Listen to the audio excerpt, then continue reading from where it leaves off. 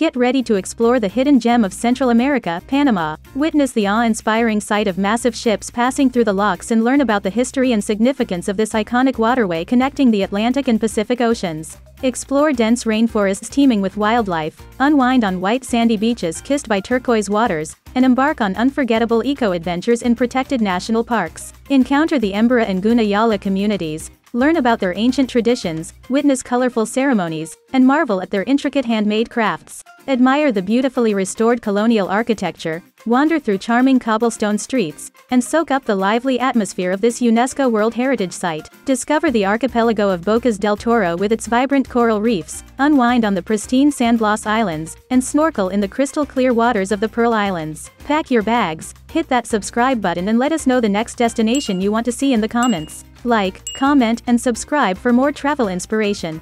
Until next time, travel as you wish.